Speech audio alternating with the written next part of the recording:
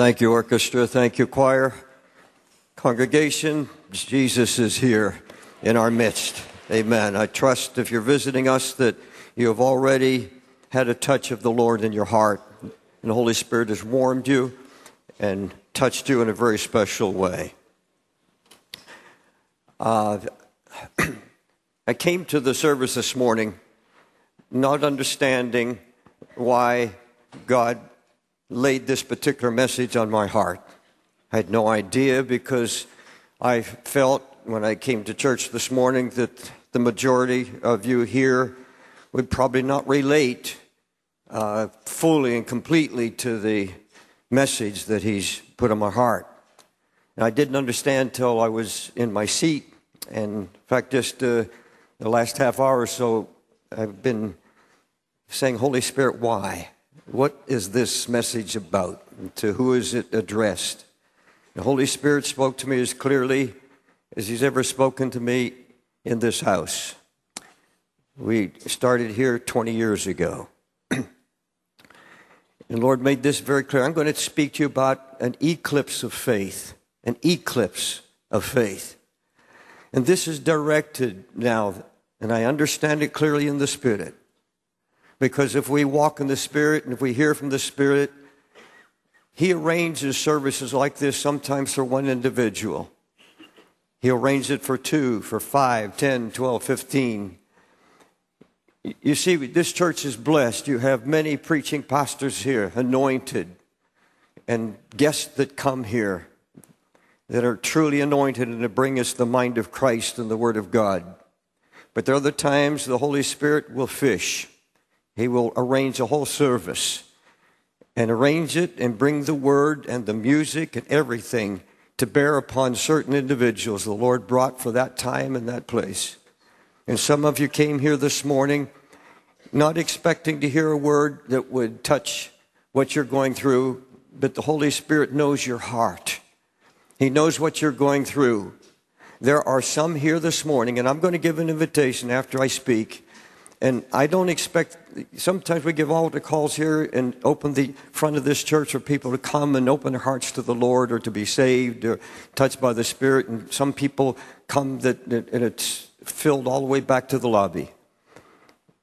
If only six, ten, twelve come this morning, I'll know. And you'll know that God has found your heart. He knows all about what you've been through. There are some here now, maybe a pastor who've known the Lord, used of the Lord, walked in faith, but you sit here this morning and your faith is shattered. Your faith is under eclipse. There are others of you here never intended to come, and maybe you came under that eclipse. Your faith is shattered or weak or, or, or so, uh, you're so shattered in the problems that have come to you. You're so shattered by what you're going through in your life that you say, I, I, just can't believe anymore. My prayers have not been answered. I've gone through so much, and I come to this church this morning. You sit here in pain, you sit here overwhelmed. Well, I have a message for you from the heart of God. An eclipse of faith. Reading from Luke, the 22nd chapter, verses 31 through 34. now, Lord Jesus, I pray that you speak clearly I'm just a tool, I'm just a vessel. And asking you to come and take control, sanctify this vessel. Lord, and remove me out of the picture and let me just be a voice. Let me just speak the mind of God. Lord Jesus, I need your touch. There are people here that have walked into this church, maybe in the annexes, wherever they may be hearing me. And Lord, this is a call right from the throne of God. Lord, you've arranged this time and you have brought forth a word. And I want you to speak to their hearts, Lord, and open their hearts and let them know that you're not angry with them. Let them know that this is a plea from the loving heart of Jesus Christ Himself. Lord, speak clearly to us. Those who are shattered in their faith, those who are wavering in their faith. And Lord, to expose the devices of the devil and of Satan, how he tries to destroy the faith of those who really love God. In Jesus' name I pray. Amen. Verses 31 through 34. The Lord said, Simon, Simon, Behold, Satan has desired to have you, that he may sift you as wheat. But I prayed for you that your faith fail not. When you're converted, strengthen your brothers. And he said unto him, Lord, I'm ready to go with you both into prison to death. And he said, I tell you, Peter, the rooster, the cock will not crow this day before you have three times denied that you even know me. Well, folks, this is Passover. This is the Lord's last day on earth. And here, sitting beside Christ in his last hour, is a man by the name of Peter who says, uh, Though others fail, I'll not, I'm not going to forsake you in your dark hour. I'll not, I will not shake my, I will not be shaken in my faith. Now, folks, Jesus turns to him and said, Peter, Peter, please. The devil has asked permission. In fact, some Bible scholars say that the devil has demanded that I turn you over for a sifting. He's demanded it. Now, the devil would not demand, he would not ask to sift Peter. It was just a faith of froth. If it was just human flesh, it was just excitement. He's not going to go after that kind of faith. If you've got that weak faith and you've lived like that, you're not going to come under oppression. You're not going to be sifted and tested unless you really have a faith. Peter's faith was so strong, his testimony on the divinity of Jesus Christ was so strong that Jesus said, Upon this testimony, Peter, upon your testimony of faith, your testimony that you truly believe that I'm the divine Son of God, I'm going to build my church on that kind of faith. So there was something in Peter of faith who really trusted God. And the Bible makes it clear that Jesus is warning Peter Peter, you're, you're going into a test and you're going to fall, you're going to fail. He said, and when you're converted, in other words, when you come through this sifting, and the Lord says he has to stand by, he's going to test. Peter, the enemy's going to test Peter. He's going to throw everything out of hell at this man and he's going, his faith is going to go through an eclipse. Now, an eclipse, you know what that is. You've, you've seen maybe an eclipse. The next one, I think, is in August, usually two a year. It's when the moon passes between the earth and the sun and blots out the sun. And all of a sudden it becomes dark. It's the sun has not, eclipse actually means in, in, in, in the uh, Greek, absent and no longer there. it came out of medieval concept that the sun has it was no longer there that it was extinguished and that it was growing dark and that god or some of the gods had extinguished the sun and he's going to go into this time of darkness. He's going to have his faith totally eclipsed. Now there are partial eclipses and there are total eclipses. And if you're walking close to Jesus, if you have really walked in faith, you've been a man or woman of prayer and seeking God, you're going to face times of eclipse. When your faith is so tested, when the enemy says, I, I am going to I'm going to harass. I'm going to sift. To sift means to shake up and down, sideways, frontwise, in every way, shake and stir. How would you have reacted if, here's what Jesus said to Peter I tell you, before the rooster crows this day, you're going to have denied that you know me three times. Now, what would you have said if Jesus said that directly to you? I was sitting in my study thinking of that. What if Jesus said that to me? You see, Peter has, has had a genuine faith. Peter's been faithful. He's not living in sin.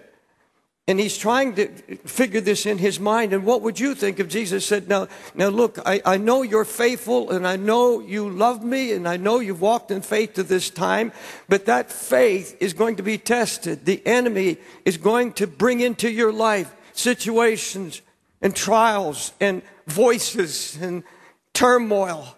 He's going to bring things into your life. And what, what do you say? Well, Lord, what about all these promises you said never let me fail, that you, you, you would hold me and all these promises you've made to me?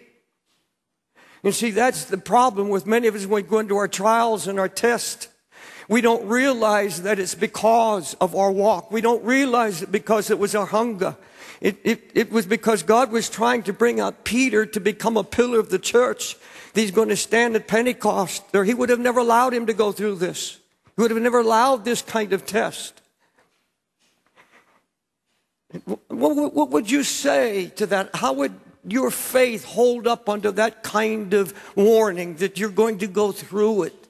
You're going to go through these things that are going to be, they're going to be so severe that, that you're going to end up saying things and acting things and doing things that you never thought possible. Because you see, in the high priest hall that night, Peter's warming himself by the fire. And the enemy comes for that sifting. He's, I can't imagine what the devil threw in this dear man's mind. The awful voices that came to him. How can this be the Son of God if he allows such humiliation of himself? How can he save me if he can't save himself?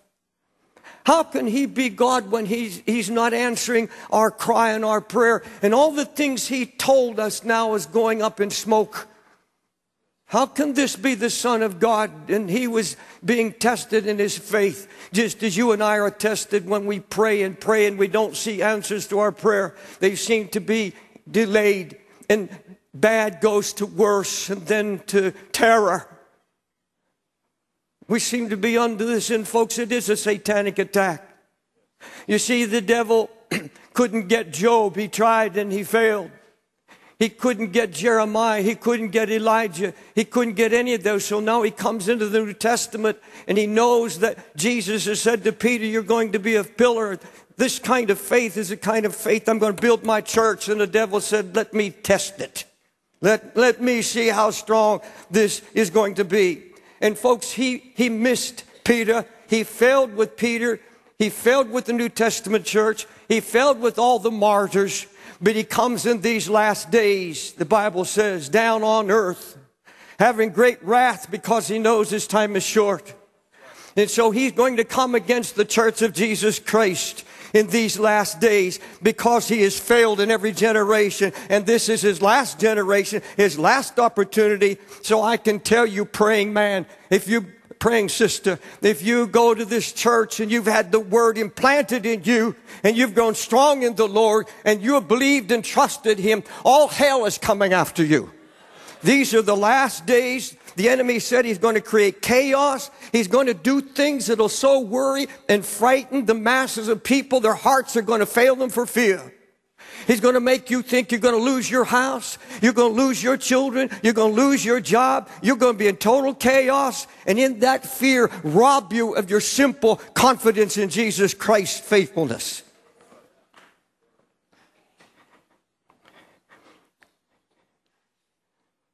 You know, see, we've all known afflictions. You see, I thank God for the day by day sustaining faith of the Church of Jesus Christ. But most of our tests and most of our trials of the flesh lusting against the Spirit. They, they, they, they are in the flesh, and, and these, these are not supernatural testings. They're, they're testings of everyday flesh fighting against the Spirit. Oh, but there's another test. Comes to the most righteous. It comes to those who have wanted God with all of their hearts, and it comes with this satanic sifting, this satanic shaking. Jesus called this the hour and power of darkness. And that's what it was. It was an eclipse. A spiritual eclipse is a dark hour when the heavens seems, remember the word says absent, that, that God seems to be absent from uh, our lives. He, he, he seems to be not working. And it leaves us when, when we're not, when we're under this barrage from the enemy. You, you can hear the voice of Satan. It'll come so loud and so clear that you're of no use. That your life has been emotionally in vain, that it, didn't, it doesn't count. You're so insignificant. You're not accomplishing anything. He'll come from, he'll come with raging voices and still voices from all sides to attack your, your faith. And you'll find this attack all through the Bible upon righteous people. Elijah. Here's a man who truly hears, hears from God. Bible said he stood before the Lord. Here's a man of great faith. He stands, stands in Mount Carmel and he brings fire down out of heaven. Here's a man with a faith that can shut and open the heavens. Here's a man that can stand against the devil and all the oppression of hell and literally destroy the Baal religion that had crept into Israel and destroyed their faith. Here, here's a man that can outrun Ahab's chariot, and he goes to Jezreel. And the enemy, the devil himself, knowing where this kind of faith will lead, because it was going to bring Israel back to God out of idolatry. And the devil saw the consequences if he let this man go. He possesses, he takes possession of the heart and the lips and mind of Jezebel, the queen. She puts a price on his head and lets everyone know at the entrance of the gate, let him know that there's a price on his head and he's as good as a dead man. And suddenly, an eclipse comes over his faith, a dark hour. He, he, he's worn out physically, spiritually, and emotionally. And friends, you can be in battles. You, in fact, sometimes you can work so hard in the ministry, you can become worn out, especially if you're not recharging your batteries. And, and he, he is overwhelmed and he, he is spiritually, physically, emotionally overcome. Now, can you imagine the words, first of all, of Peter when he came to this point? overwhelmed and tired and not understanding. When the enemy came against him, he said, when he was asked, Aren't you one of them? He says, I, I, I am not with him. The second time, Aren't you one of his? He says, I don't understand what you're saying. I don't know him. And a third time comes and he screams and curses. I'm telling you, I don't even know who he is. Folks, that was a total eclipse of faith. His faith is shattered. And you see, he's crossed the line. He, he, he's talking like an atheist. How could a man of God who's cast out devils and all of these things and been used of God and had such faith, how can he say such things? How can he think such things? You say, well, he's crossed the line. But this man goes aside and he begins to weep and he's saying, Oh, I, I sinned not once. I, I, I felt a temptation once and then twice and then three times. And there's some of you here that, that are right now living under condemnation and your faith is gone into a partial eclipse because you say, well, you don't know what I did. I did it not once, not twice, but three times. I repeated and I have sinned and I, I just can't seem to get the victory. So your faith is going into this eclipse and you can't believe God anymore for his covenant promises that he will work a miracle in your life and keeping you under guilt and fear and condemnation. And here's another man of God and this man now, depression comes upon Elijah. De- depression and fear. And he goes outside, he, he, he, he runs, literally runs. And, and he says,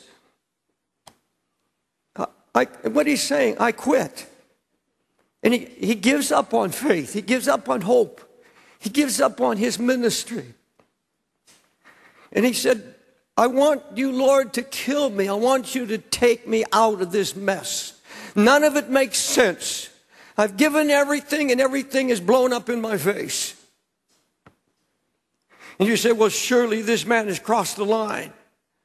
How, how does a holy prophet of God who preached such holiness and such fear of God and such, such great things that he accomplished through his walk with God, can a man of God, can a woman of God be so tested and come to a place under satanic attack that you, you, you, you can feel like God has abandoned you and God no longer answers prayer? You say, well, surely God is angry at him now. No.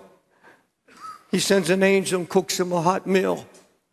A meal so full of vitamins and minerals it lasted 40 days.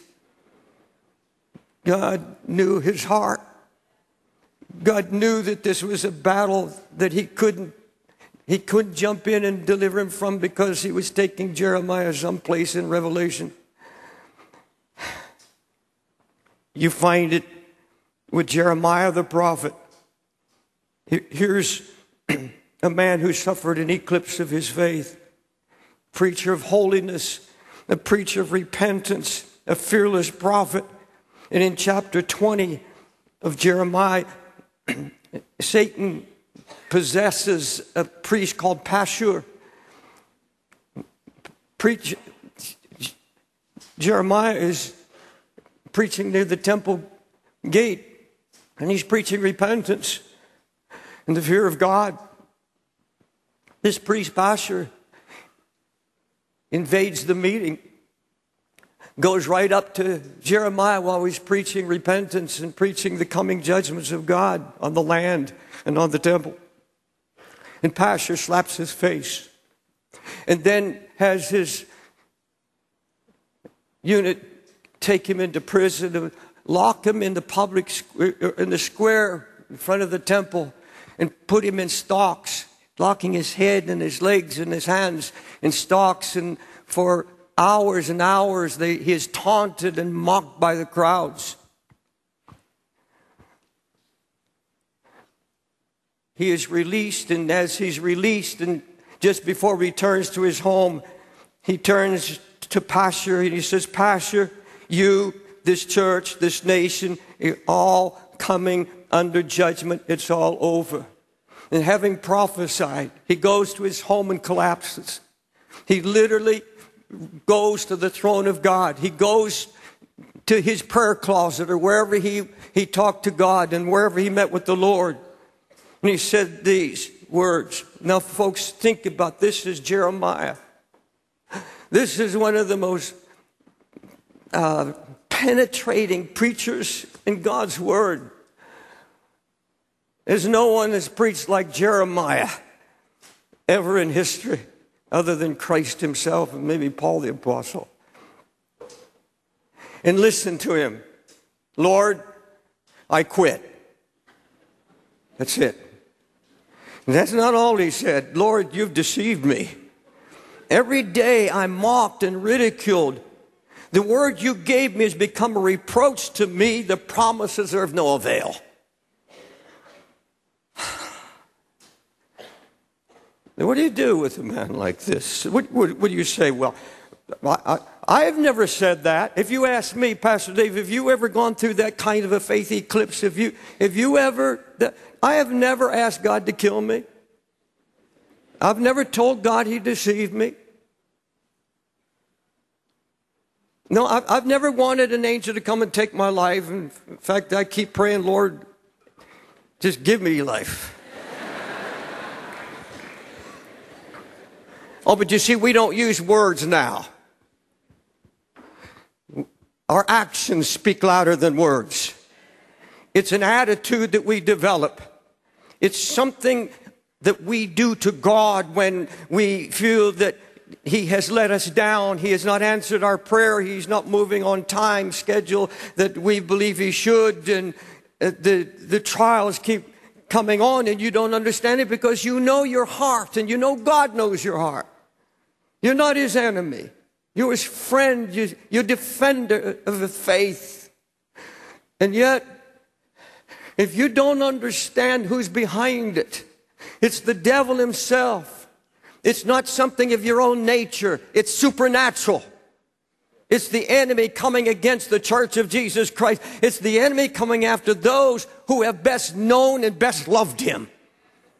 And if you don't recognize the hand of the enemy at it, you'll be defeated. You've got to realize and say, this is not me. This is not the Christ in me. This is not the way I walk and act as a Christian. There's something coming as an invasion in my life. And if you say, well, the enemy will say it's because you're really have never surrendered something in your life. You're really evil at the root of your heart. There's something there that the devil could work on. No, the devil doesn't need anything to work on except your faith.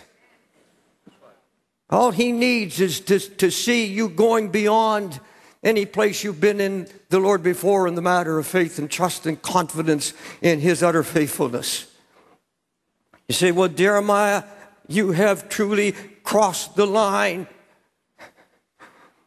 No, the Bible says in the next chapter, and the word of the Lord came to Jeremiah. The word of the Lord came. Now, what am I trying to say to you and say to my own heart? I say to those who have been so shattered in your faith because of situations in your life. No, no, no, you have not said, God, go, or I quit. But you see, we give God the silent treatment. We just back off. And, and we don't pray anymore, and we just barely, hardly ever open the book. Because you see, it's now becoming a dead book. And it doesn't seem to have any life because you say, I have not seen it work. The promises don't seem to work. And, and so we go into silence and we give him the silent treatment.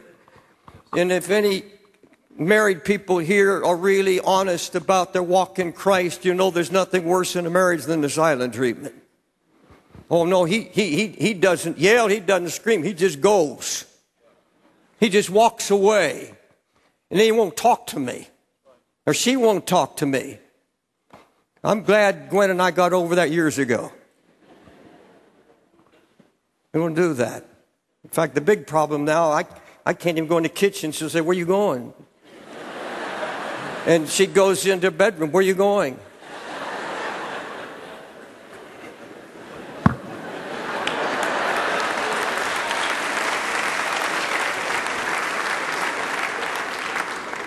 I'm going to get a drink.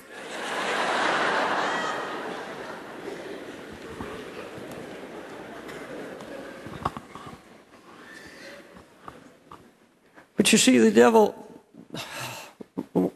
wants to so numb our minds in our problems and difficulties.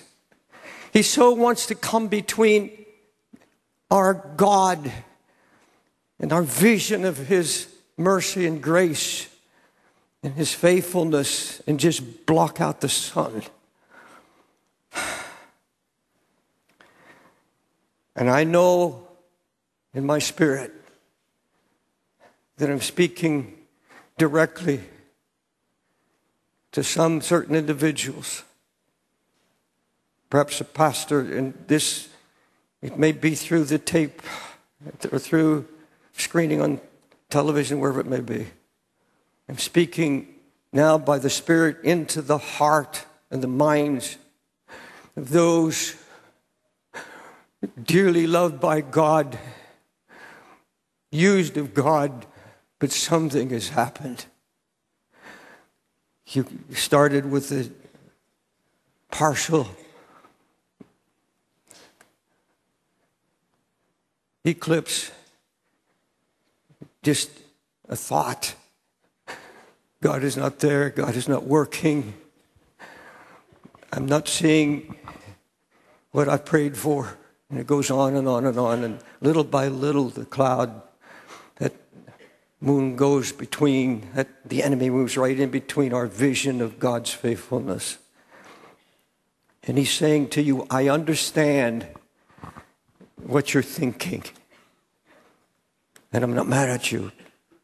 Oh, do, do, do our unbelieving thoughts, do, do the things we say and do when we're in eclipse, does it hurt his heart? Yes, it does. And if it, it, can lead to chaos, it can lead to disaster, and it can lead to atheism. If you don't stop for a moment and recognize the hand of Satan, and even though you don't have the energy to cry aloud, even you don't have the energy to get into the Bible and say, I'm going to stay here until I dig a well, until the water begins to flow. If all you can do is have a cry in your heart and say, Oh God, I know something is happening to me. I know my faith is wavering. I know that, that I've given you the silent treatment, but now, oh God, I come to you. Hear the cry of my heart, and all you can give me is a cry. And I want you to go a step beyond that. I, I want you to come to the knowledge that no matter what you're going through, if you've given your life to Christ, and if you've not even given your life to Christ, but there is a hunger in your heart to know Him as you sit here, God will meet that. God will come and God will work. And, and believe it or not, sometimes when we're most unbelieving, sometimes when we have given up, God is doing the most work at that very moment. And then when the answer comes, and the answer usually comes when we're down and have not been at the peak of faith, and then we say, Oh, if I had only believed. Because if I've always said faith, the last, the hardest part of faith is the last half hour. But you see, the way out of the eclipse, two things I want to give to you, just practical, is that to believe and rest in the love of God for you. We preach covenant here and covenant. When you boil it all down and you get to the germ truth, you get to the basics of it, it's believing that God rests in his love for you. That he rests. Let, let me give it to you from the scripture. And this is Zephaniah 3:17. The Lord thy God in the midst of thee is mighty. He will save. He will rejoice over you with love. He will rest in his love. He will joy over you with singing. I want you to know no matter how you feel, no matter what you're going through, because when we don't believe, the Bible said he still remains faithful. When we are not faithful, he is faithful. And God has come to you and rested in his love. He said, I love you. That's it. It's settled. I have nothing to add to it. I'll not take from it. I rejoice in it. He has a settled love. He has settled it. And if, if you want victory, if you want to chase the eclipse, if you want the darkness to go, you have to, no matter how you feel, stand on this word of God that He rejoices in His rest, in His love for you and me. And He rejoices with singing, the Bible says. John Owen, the great Puritan writer, said he leaps for joy in his rest, in his rest for his beloved.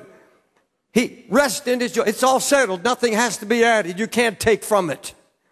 Right now, as you sit here, no matter how you feel, God has rested in His love for you. He's not going to steal it from you. He's not going to take it. You may be downcast. You may be weary. You may be worn, but He said, I am at rest. I am not uneasy about your condition. I'm not flitting in and out of your life. I'm not taking the Holy Spirit in and out of your life according to your emotions and your fears and the voices of the enemy that come against you. I am at rest. Glory be to God. Folks, this has done more for my life over the years than anything I've ever preached or believed. That is covenant.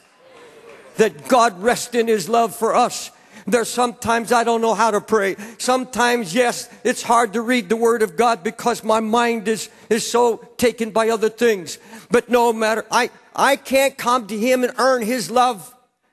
I can't wait.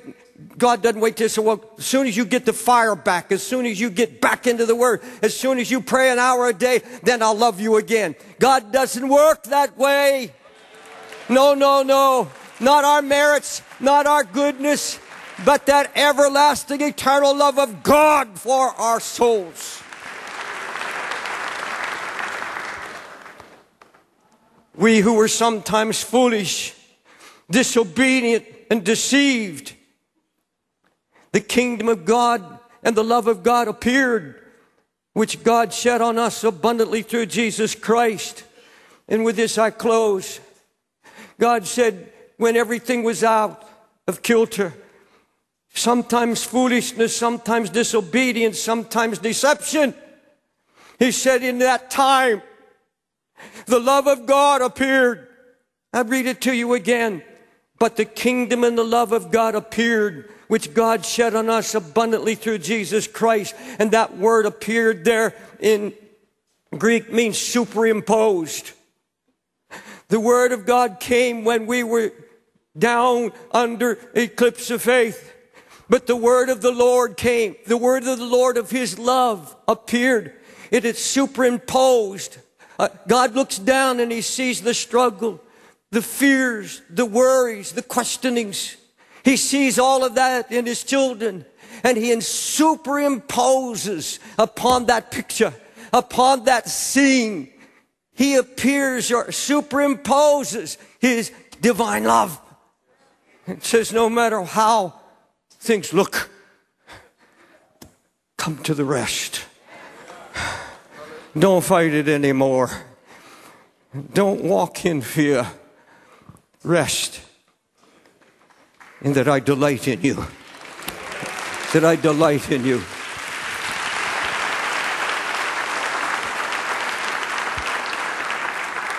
Now I come to that place I said I've come to the conclusion. I haven't even gotten halfway through my notes, but I, I just feel I want to close this meeting with an invitation now. to those that know, you know in your heart that what I've been saying has been reading your mail. You know in your heart that you have heard from the Lord's heart. I don't know who you are. I don't know where you're seated. We'll not put you to shame. This is not a shameful thing. This is an hour of of victory and deliverance. I want you to stand, please, wherever you are.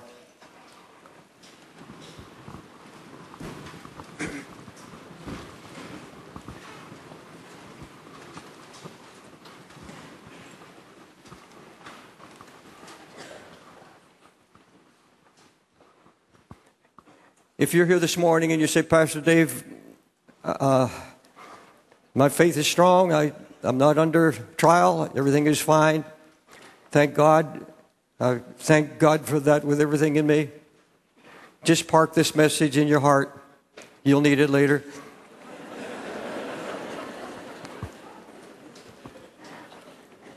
Did God speak to you? Up in the balcony here in the main floor? I want you to get out of your seat and come here now and say, Jesus, I'm bringing this to you now. And then in the annex, in the annex. I'm, I'm asking only for those that really have heard from God on this now. Please don't come unless you've heard from me, unless, unless you're among those that God is speaking to. In the annex, you can go to the hall, and I think we'll have room here. Go to the hall, turn and go back to the hallway from which you came, and ask the ushers, they'll show you how to get into this auditorium and come down this aisle and stand here, and we'll pray and we'll believe God that this terrible eclipse will be moved while you're still in this house. Don't please don't come unless you you really you said, brother Dave, this this God is saving my life today. God is changing me. God has heard my cry. Now, Lord Jesus, lead us. Lead us now into your heart so that what we hear will not be in vain, we allow it to change our hearts. Will you say this with me? God is not mad at me. Once again, God is not mad at me. If you can believe that now, that no matter the past, no matter anything before you walk down here, here you stand in the presence of God, you, you have got to convince your heart and lay hold of this. It's, it's a promise, it's His word, and it's that truth that will set you free. I am truly loved. Well, now, will you pray this with me? Dear Jesus, forgive my unbelief. Forgive the things I've said and the things I've spoken in haste, the things I've thought, the unbelief that has been in my soul. I bring it to you and to your love. Forgive me. You know my heart. I want you, Lord. I need you, Lord. And I surrender. Now, Holy Spirit, come into my heart with new strength. Strengthen my confidence. Strengthen my faith. And give me a complete understanding of the love of God and His rejoicing over me in my time of struggle. I am in need, Lord, but you have promised to meet that need. And I'll rest in that truth. Now, let me pray for you, Father. We thank you that we don't have to say long prayers. We don't have to weep a lot of tears to reach you. Those tears will come, Lord, when we understand your love and grace. But, oh, Holy Spirit, now let the warmth of your love just embrace us, put your arms around us, and help us to be able to say, Lord, I will trust you. I will believe that you will hear me. I believe my prayers are going to be answered. Lord, I believe that you're walking with me. I believe you're doing something even now in my heart and my life and my family. In Jesus' name, amen. Give him thanks.